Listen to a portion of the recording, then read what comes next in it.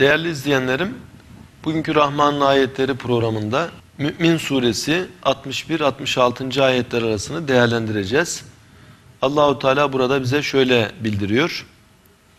Allahu lezi o Allah ki ceale lekumul leyle geceyi sizin için kıldı.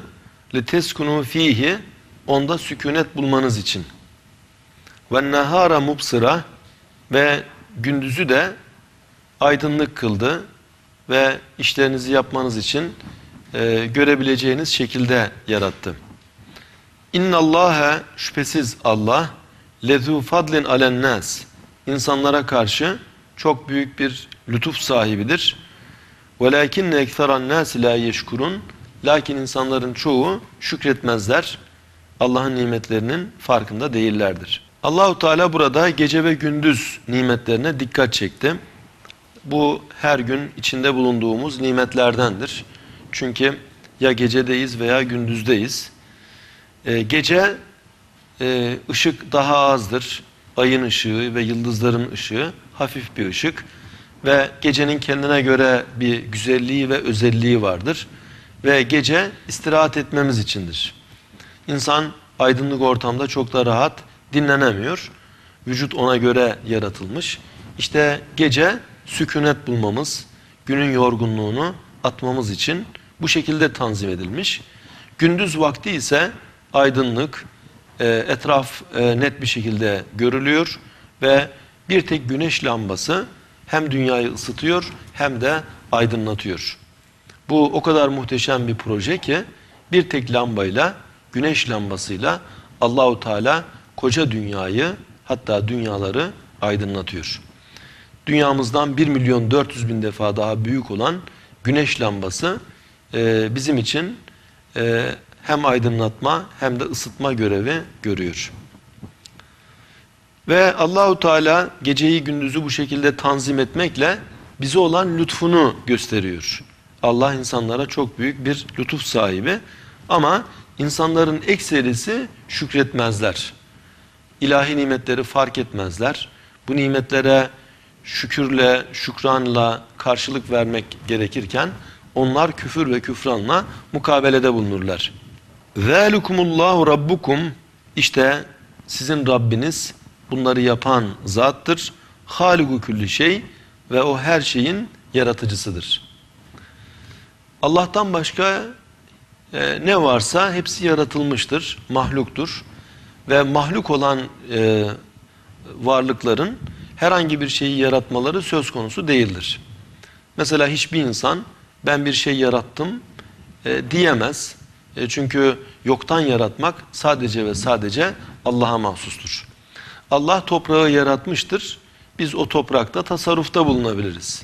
Allah diyelim mermeri yaratmıştır. Biz o mermere şekil verebiliriz. Allah renkleri yaratmıştır. Biz o renklerle resim yapabiliriz.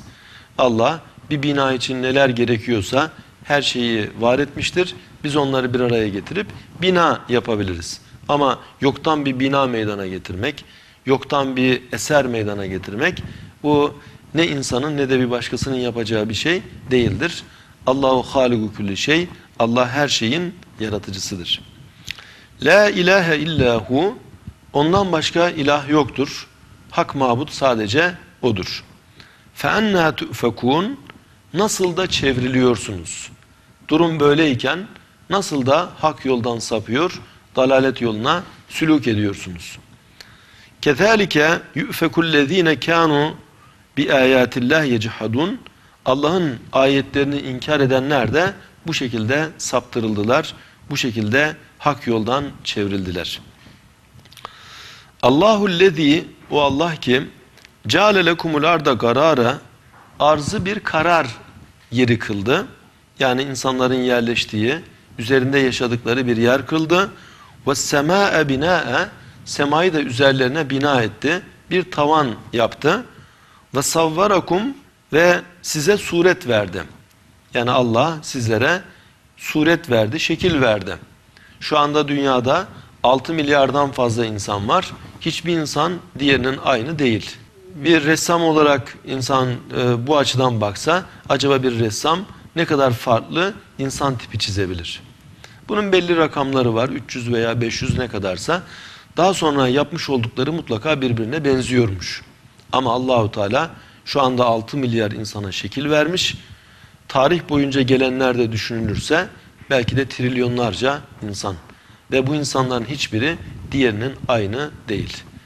Ve Allahu Teala her birine ayrı bir özellik, ayrı bir güzellik de veriyor. İnsanlar değişik suretlerde ama insan olmakta da hepsi müşterek.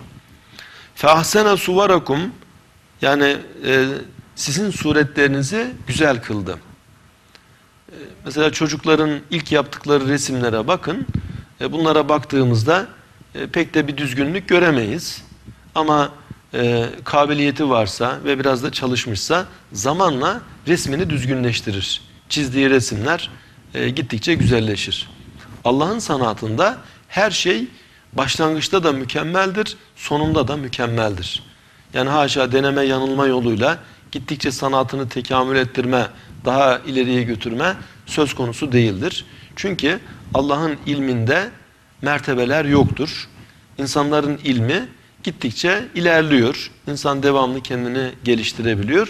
Allahu Teala'da ise her şey zaten kemalinde. Böyle olunca Allah'ın sanatı insanın sanatına benzemiyor. Ve Allah'ın sanatında her şey en ideal boyutlarda ve en güzel şekillerde. İşte insanın da sureti, e, resim uzmanı olan kimseler, insandaki bütün ölçülerin e, ideal oranlarda olduğunu, en olması gereken şekillerde olduğunu ifade ediyorlar. Yani daha güzel bir insan tasavvur edilemez. Daha ideal boyutlar, daha ideal ölçüler düşünülemez. Kaldı ki bizim ilmimiz son derece az. Biz şu anda bazı şeyleri bu neden böyle şöyle olsa daha iyi olmaz mı tarzında düşünsek bile zamanla gelişen ilim onun o şekilde güzel olmayacağını ortaya koyuyor. Bir zamanlar insan vücudunda kör bağırsak fazlalık bir madde zannedilmiş.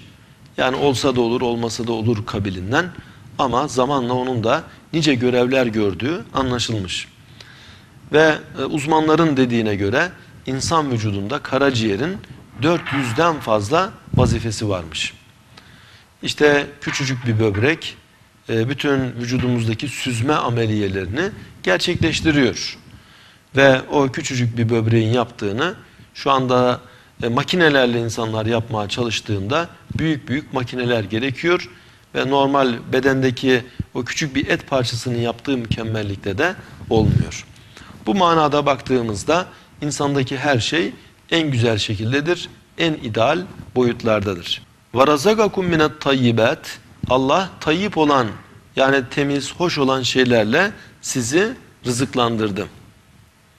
ذَٰلِكُمُ اللّٰهُ رَبُّكُمْ İşte e, sizin Rabbiniz bunları yapan Allah'tır.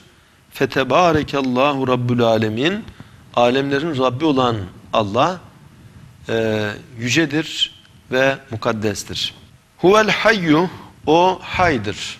La ilahe illahu ondan başka ilah yoktur. Hay Allah'ın zatında hayat sahibi olması. Ee, şu anda bizler de hayattayız. Bizim de hayatımız var. Ama bizlerin hayatı kendimizden değil. Allah'ın bize vermiş olduğu bir hayat. Bizdeki hayat arizi bir hayat. Veya diğer canlılarda olan hayat e, yine arızi bir hayat. Kendilerinden değil. Hay olan birisi tarafından verilmiş ve o hay olan dilediği zaman bu hayat e, geri alınmış olacak. Ama o Allah haydır, ezeli ebedi hayat sahibidir. Bütün yeryüzünde gördüğümüz hayatlar, canlılar onun hayatının e, bir tezahürüdür. Onun hayatından bize haber vermektedir. Yani Allah hay olduğu için bizde hayat var. Allah alim olduğu için bize de ilminden küçük bir numune vermiş. Allah kadir olduğundan bize de cüz'i bir kudret vermiş. Allah irade sahibi olduğundan bize de cüz'i bir irade vermiş. Ve Allah insanı sanatlarına merkez yapmış. Öyle ki bu insan e, Cenab-ı Hakk'ın şuunatının küçük bir timsalini adeta gösterebiliyor. Çünkü bu insan yeryüzüne halife olarak gönderildi ve bu insan e, gerçekten e, Allah namına şu alemde tasarrufa, yetkili kılındı, mezun kılındı. Böyle olunca insan Allahu Teala'nın sanatları içinde en büyük bir sanat, en büyük bir nakış durumunda. Bundan dolayı Kur'an e, bize gönderildi, insanlara gönderildi. İbadet biz insanlara emredildi. Marifetullah'ta yol almak e, insanlar için mukadder kılındı. Fed'uhu ona dua edin, onu çağırın. Muhlisine lehuddin dinde muhlis bir şekilde yani dini Allah için yaşayarak başka gayelerle değil gayet samimi bir şekilde e, Allah'a yönelerek ona dua edin. İhlas e, samimi olmak ve e, Allah'ın emrettiği şeyleri Allah emrettiği için yapmak. Yoksa dünyevi gayelerle bir takım menfaat e, çıkar gibi e, durumlarla değil. Bu açıdan baktığımızda e, ihlas dinde son derece önemli olan bir esastır. Ve e, önce bize iman lazım. Ardından amel lazım. Ameli yaptığımızda da bunu ihlaslı bir şekilde yapmak gerekiyor. E, veya ilim, iman, amel, ihlas bu manada e, bunları ard arda mertebeler şeklinde düşünebiliriz. Elhamdülillahi Rabbil Alemin. Hamd alemlerin Rabbi olan Allah'a mahsustur. Yani insan böyle demek için yaratıldı. Zaten biz de e, her namazda Elhamdülillahi Rabbil Alemin'i okuyoruz. Fatiha suresinin başında bu bunu yad ediyoruz.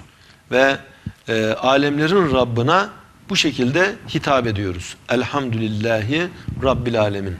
Çünkü bizim bütün alemlerle münasebetimiz var. Hava aleminden, su aleminden, renkler aleminden, rızıklar aleminden, bitkiler, hayvanlar aleminden her taraftan bize rızıklar geliyor. Sesler aleminden nice hoş sesler duyuyoruz. Renkler aleminde nice rengarenk manzaraları görüyoruz. Hava aleminden, su aleminden bize nice büyük nimetler geliyor. Her taraf bizim için nimetlerle dop dolu. Ve ma bikum min nimetin feminallah. Size gelen her bir nimet Allah'tandır. İşte biz bu e, nimetleri e, gördükçe, farkına vardıkça Elhamdülillahi Rabbil Alemin demekle mükellefiz. Ve e, Elhamdülillahi Rabbil Alemin demekle bütün alemlerin Rabbına hamdını, hamdimizi takdim ediyoruz. Kul inni nuhitu en a'budellezine ted'un min dunillah de ki ey peygamber de ki Allah'tan başka tapmış olduğunuz, çağırmış olduğunuz şeylere ibadet etmekten ben nehyedildim. Yani sizlerin ibadet ettiği bir takım batıl mabutlar var. Onlara ibadet etmekten, onlara tapmaktan ben men edildim. Lemma ca'eniyel beyinatu min Rabbi çünkü Rabbimden bana beyinat geldi. Apaçık deliller geldi. Rabbimden bana apaçık deliller geldikten sonra e, benim e, sizin o çağırdığınız şeylere ibadet etmem elbette söz konusu değildir. Ve ümirtu en üslime li rabbil alemin ve ben alemlerin Rabbına teslim olmakla emrolundum. Yani e, elhamdülillahi rabbil alemin diye biraz önce geçmişti.